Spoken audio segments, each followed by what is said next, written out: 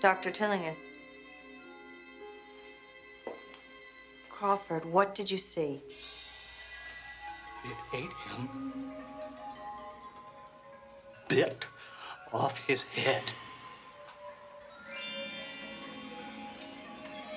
Like a gingerbread man.